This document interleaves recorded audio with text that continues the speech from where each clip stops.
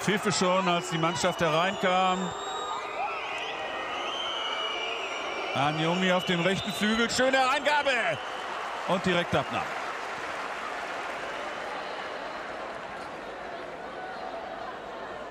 Linda Dahl. Nochmal hier, so kann es aussehen. Den Ball dann in den Rücken der Viererkette spielen. Henrich mit Anjomi. Guter Ball wieder in die Spitze. Und Probleme bei der Torhüterin. Die lässt Zelda Akütz, die den Ball nicht kontrollieren konnte. Und dann war Alex Popp da. Nochmal hier die Entstehung.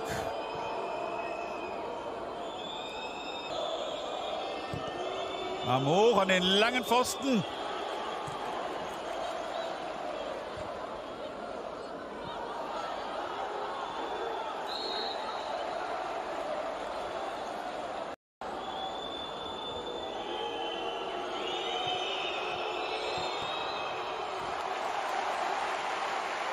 Ja, wenn man diese Szenen so sieht, dann könnte man die umschreiben mit wir nähern, nicht wir, aber die deutsche Mannschaft nähert sich so langsam dem 1 zu 0. Also der Druck wird größer. Bühl über die linke Seite.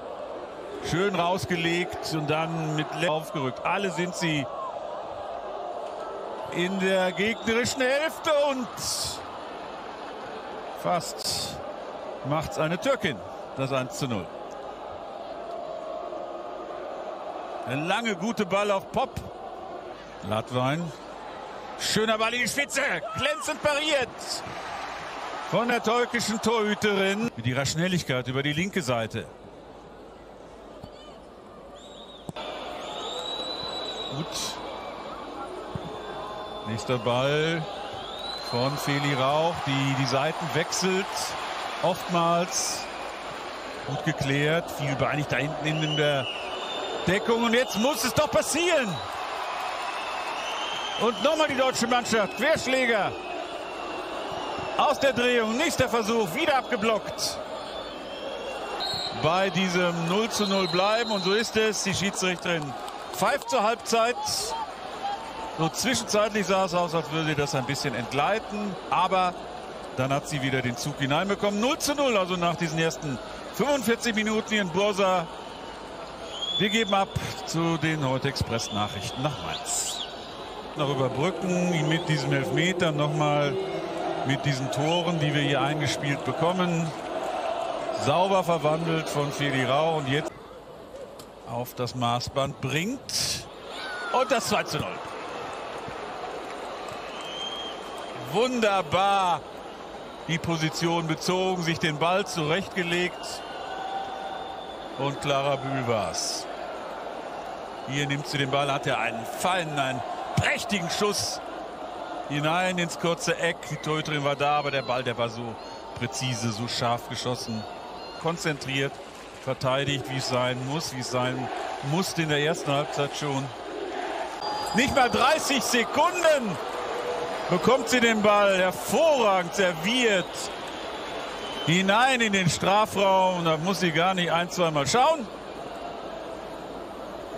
Und jetzt haben wir so langsam diesen Spielstand hergestellt, wo man sich überhaupt keine Gedanken machen muss, was die Qualifikation anbelangt. Zum richtigen Moment gestartet, keine Abseitsposition und dann mit Vollspann aus der Bewegung.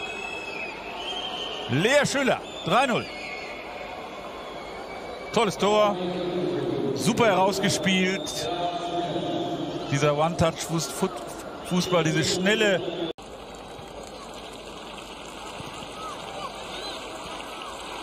Ich glaube, es ist jetzt der 15., 16. Ganz, ganz nah vors Tor. Gute Faustabwehr, zwar nicht weit genug von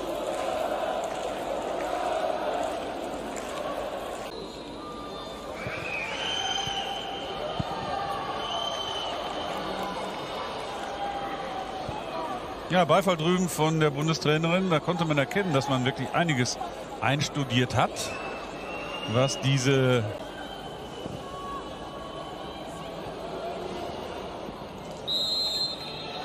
nicht viel mit Fußball zu tun hatte.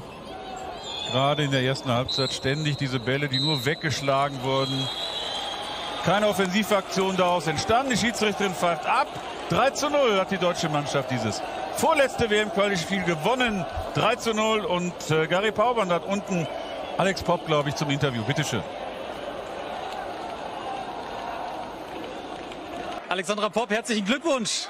WM-Ticket gebucht, ein Ticket, was man gerne zu diesem Zeitpunkt buchen wollte? Ja, absolut. Wir haben uns das vorgenommen. Es war jetzt äh, echt ein hartes Stück Arbeit. Muss man Härter als gedacht? Sagen. Ja, jein, sagen wir jein. Ähm, wir hatten schon nicht so das Spieltempo, wie, wie wir es uns gerne erhofft hätten, was jetzt auf dem Platz nicht so einfach war. Aber ähm, ja, ich glaube, mit dem ersten Tor dann, Gott sei Dank, äh, war dann ein bisschen die Wogen geglättet und ähm, ja, wir sind sehr, sehr glücklich.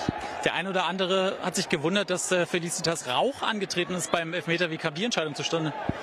Wir haben keine direkten Schützen und von daher schießt sie, die sich, am, äh, ja, die sich einfach gut fühlt, die äh, ja, das Ding auch übernehmen will und äh, ja, Feli hat sofort gesagt, ja komm, ich hau rein. Wie war das eigentlich für Sie, wenn man äh, fast das gesamte Spiel in der gegnerischen Box verbringt, aber trotzdem nicht so richtig diese Chancen dann hat? Ja, das sind natürlich immer ein bisschen schwierige Spiele äh, für einen Stürmer, weil man äh, gerade hinter, hinter der Kette nicht so den Raum hat ähm, und auch gerade im Zentrum nicht so den Raum hat. Aber ähm, ja, das gehört dann auch irgendwie dann dazu. Manchmal bin ich ein bisschen nach außen ausgewichen, aber äh, hat dann irgendwie auch nicht so viel gebracht. Ähm, aber konnte so die, den einen oder anderen Raum für die anderen Spielerinnen auch ziehen und äh, ja, das ist okay. Äh, gegen Bulgarien, glaube ich, wird es ähnlich werden. Dankeschön. Okay.